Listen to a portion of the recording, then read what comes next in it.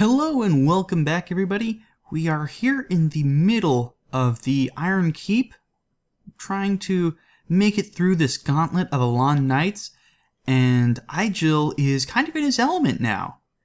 While this weapon may not be the best for taking on these foes, this is certainly familiar ground for Eygil, being that he is originally from, or at least a member of, the Iron King's inner circle, so he very much is at home here in the Iron Keep, where it all began. Back in the day, Eygil would work up all sorts of strange new spells and pyromancies, and even helped the old Iron King create his massive smelter demons, great iron golems, that if the second DLC is to be believed, were then made into prototypes for even larger super soldier styled. Ooh dear. Thought I could get the stagger on that. Did not. But made into larger, supersized versions of the old knights over in Heide, so brings up some very interesting connections there, though none of it is ever made distinctive or, quote, canonical. It's all evidence by association, which isn't quite what we want to be relying on when making decisions about what is and is not the true story of Dark Souls. Though that could be debated till the end of time. I'll wait for this guy to fire off his arrow, and I can... There we go. Now I have free reign to pull this lever and drop the bridge down. Otherwise, that guy would plink me right in the face, and that's no fun for anybody involved. Now, this Alonne Knight always makes me laugh because while the bridge is still raised, his pathing is a little bit wonky, and he falls into the fiery drink every single time. Aggro him, step back a ways, and he will drop in 10 times out of 10. Drop down here, we get this drop, and we can finally turn off this large smelter in the middle of the keep. That should allow us free passage, oh dear, through and on over to the other side. Kind of gotta play this by ear since I am playing this completely without turning the camera since I need to immediately come on in here. But we make it through okay. The nastiest thing ever is that in higher new game versions, there's actually two Black Phantom Alonne Knights waiting in here to ambush you, and horrible things will happen to you if, if you're unprepared and decide to go in as I do immediately as I open the door. I'm going to come over here and take on this guy. He is technically optional, but I like to take him on. There we go. Oh, thought I got the parry. Let's, uh, let's back it up. There we go. That's what I was looking for. Sit him on his butt, and we almost kill him in a single strike, which means our weapon is rather poorly set up to deal with this guy, to be honest. Piercing damage, probably not the best. If we had something like blunt damage, we would be shredding these guys, but the only source of blunt damage I have that's worth anything is the Craftsman Hammer, and I really don't think it would be worth that much more. So I'm going to stick with the Spear. I've kind of become comfortable with it, and it's been working well for me, all told. I've managed to take down all the knights thus far, and I've got just this last pair left before I can head on and take on some... Oh, dear. Oh, got the backstab. Fantastic. I was really hoping I was going to be able to pull that off since I had to do it without looking, but I had no time for it. So jump. There we go. If I tilt the camera down, I have a better chance at making those jumps because I've got a more direct line of sight. But this next one is going to be quite uh, tricky, let's say. Because not only do I have to do it pretty close to blind, just going off of the uh, position of the camera, but I also have to aim it pretty perfectly. So Let's see, I think this should do us right. There we go! Okay, that is always such a stressful jump, but looks like we can make it even when we're in first person, so I'm very, very happy with that result, actually. And that means we can come right on up here, dispatch this last Alonne Knight. Well, technically it's an Alonne Captain, but I don't think anyone really needs to make that distinction. And we've completely cleared this level without any casualties, which is much better than I was expecting, to be perfectly frank. So, we used half our heal miracles, slight damage to the weapon, but otherwise we are pretty much set. I am going to equip the poison throwing knives because I think those are going to be a really big and important feature in getting this kill. And I'm actually going to switch to the old Leo ring because I want as much damage as possible. The extra souls that I'm going to get from Smelter are probably not going to be worthwhile. Does anything have better fire defense? Well, plenty of things. Wanderer Cloak? Uh, let's see. Royal Swordsman. Wanderer Manchette. And Wanderer. Does anything have higher than Wanderer? A few things. Jester Tights, actually. Do Does Jesters? Jesters is about same, but oh no, Jesters actually does quite good against fire. Let's see, is even here? 19. Do I have anything that can beat 19? I do not. The Varangian Helm ties, but is way heavier, so as silly as it seems, I'm going into Smelter in full Jester's gear. There's something mildly ironic about this. No matter, let's Aromatic Ooze, slap on a Green Blossom as soon as we can, and we are ready to go. Hopefully we can take him out, but this is going to be a pretty stressful fight because the dodging needs to be very precise, and it's very difficult to roll around Smelter while he's swinging. Oh, see? I rolled backwards, and because I don't have proper vision, I can't nail these rolls properly. Okay, he's buffing, which means I get to plink off a few throwing knives. Four, that should poison him. Yep, four for the poison. Oh, I failed the timing on that roll, which means I need to back up and heal. Okay, need to wait for an opening because he can end me with a single hit. There we go. Now I can heal up. That single Estus should do the trick for now. Ooh, I failed the timing again. This guy is devilishly tricky. One more Estus. I think that he's going to buff himself again, but that also means we can repoison him for some extra damage. Three and four. Okay, that's the second poison of the match. Oh my god, I cannot nail the timing on this dodge just because of the camera. Two and three. Oh, completely didn't even look at him and I managed the dodge. That makes... okay, I forgot that if he does that, he can follow up with the AoE. Well now, Smelter kind of put me to shame there, but no matter, we can head right back on in. We've got another Ring of Life protection, and there's only a few enemies that you actually have to beat in order to reach him. Oh, that's silly. I'm taking off that helmet right this instant, because it actually clips into the camera view when you're sprinting. Oh, maybe I should kill these guys at least. I have Heal Miracles instead of actual Estus to burn, so I don't need to worry too much about it. There we go. So long as I get the counter hit when they're rushing in like that, I can do half their health in a single swing, so they're actually not too bad. So I am going to clear them out on my path to Smelter.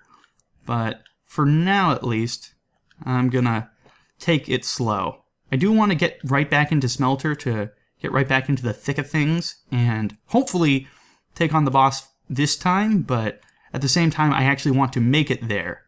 I don't have any souls on the ground to add any stress to the matter. It's just take it slow, take your time, and get back to the boss so that you can make it through, hopefully, unmolested.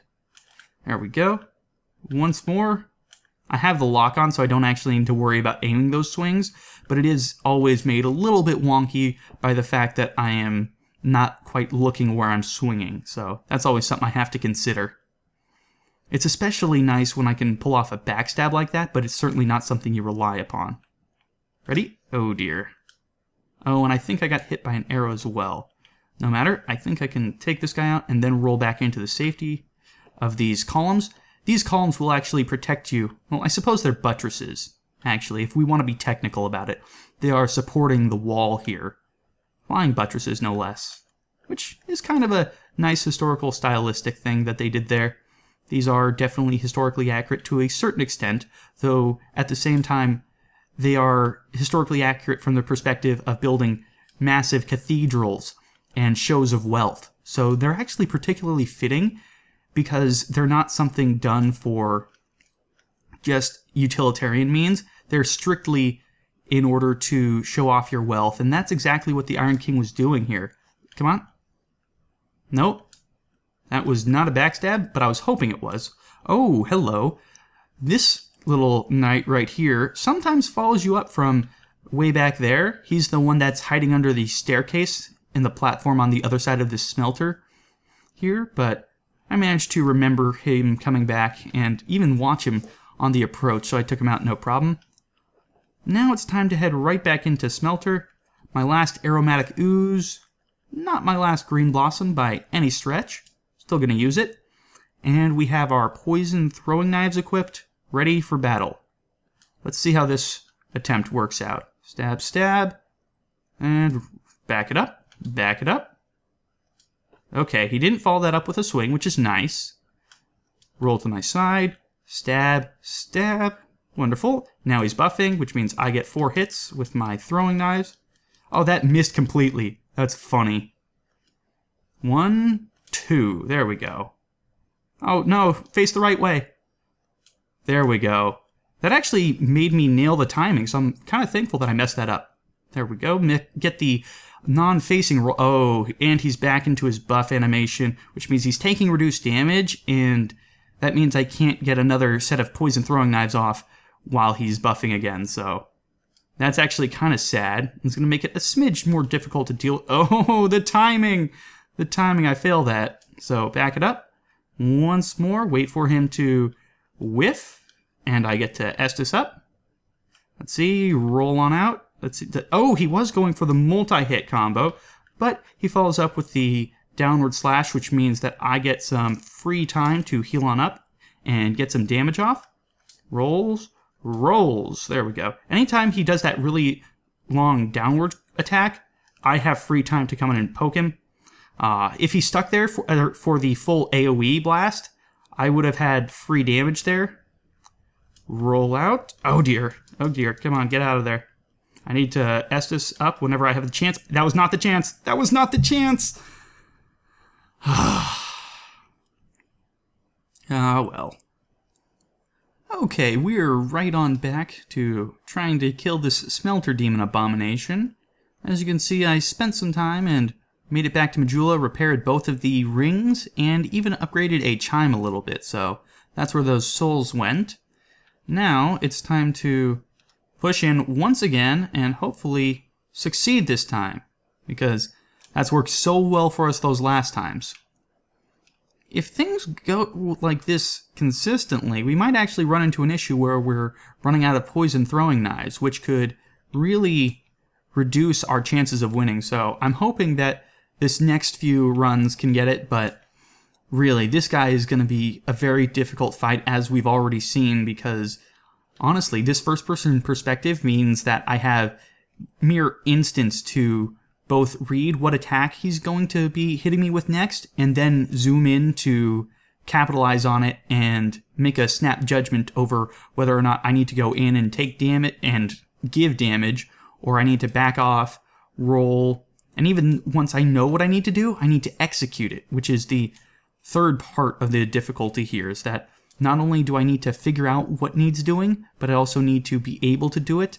after having just a split second for all of that interaction. So it's quite the challenge here, but I'm more than willing to take it on. Oh, got the counter hit, but I don't want to be taking trades with these guys. I want to be killing them safely.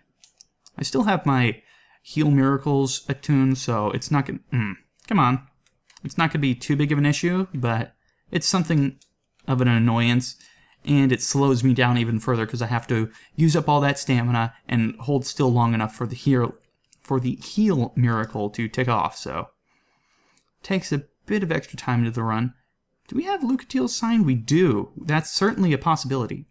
There we go. Get the backstab on this guy. But that's a one-hit kill. Oh, some destructive great arrows. Great. I'm considering Lucatiel, and well, it's a possibility. I just don't. Oh, this guy again. I just don't think that I want to actually have any summons on this run, so I'm gonna hold strong and see if I can do it without.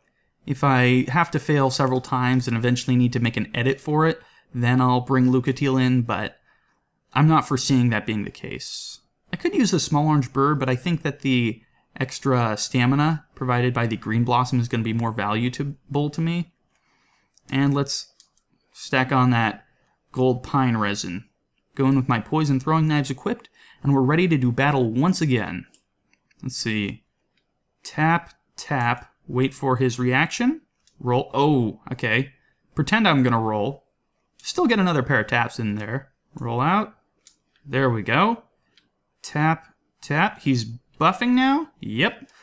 One, two, three, four. Beautiful. That still gives me ample time to roll away. I can heal up while he's stuck in that animation since it takes forever, and his health is slowly ticking down, which is great. I can tap him a pair more times. Ooh, he's going into his buff state, which means that I need to get as much damage on him while I can.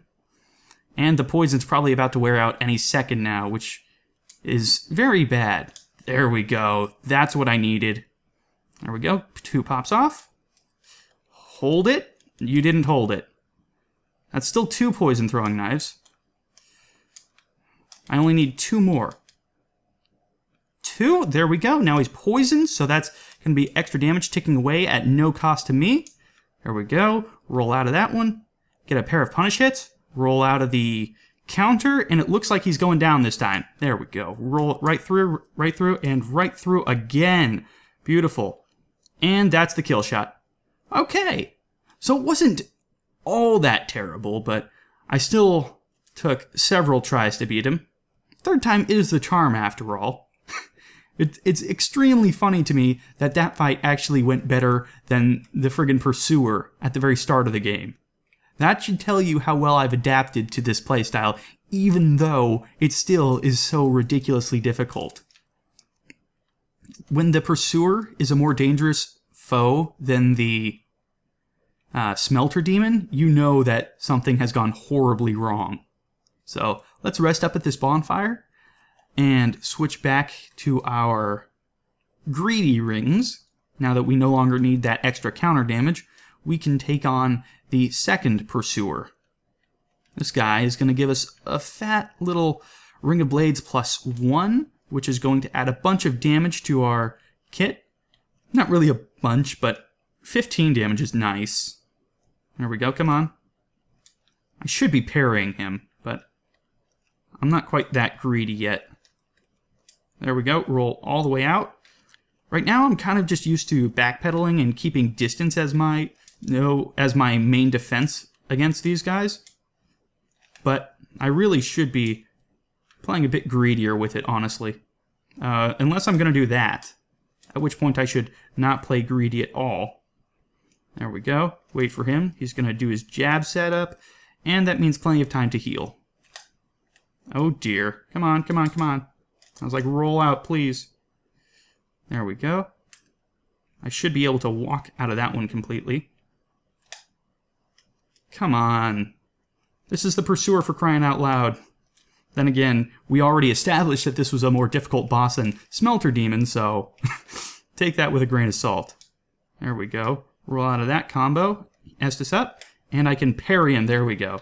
That's what I really wanted. Some chance to unload my entire stamina bar on this guy. Oh, roll out. Double Estus this time. Get me right back up to full. There we go. Another nice little parry. I'm actually running out of Estus faster than he's running out of health, which is a problem. But I think it's because I'm trying to play a bit more greedy and push the fight to end it faster when I should be trying to play nice and safe. Hmm, dear. The problem is, it's just so difficult to, for me to stay uh, facing the proper direction when I've got an enemy this fast and agile. There we go. Oh, no. No. Please say no. If I'm over here, can he still hit me with the great bow? I don't think so. But this guy isn't going to give me leave to be over here. Oh, that's not right. This is this is not okay. I am not okay with this, guy. No, no, no, no, no. No, I'm out. I'm out. This has been fun. Okay. Nice job, Pursuer. Got to keep them both in camera at the same time, and it's the most frustrating thing. He's going to go for the stab, which means I have a chance to heal. But I immediately flub that. And now I'm just sprinting for my life because, oh, come on. Get out of this arena. I don't want you in my life anymore. No, why wasn't that a backstab? Why are these not being backstabs? Come on. Come on, it's just the pursuer. For crying out loud. Suffice it to say, mistakes were made, and I'm gonna kill this pursuer with the old Leo ring on top, just to get that extra bit of damage, because he is clearly too much for- Oh, no, no, no! Why was I- I was accidentally two-handing my shield. I don't know how that happened, but I am not having it. Let's see. Can I get a parry? No, I cannot. Why am I trying to do a parry? I specifically said I'm going to be playing this guy safe.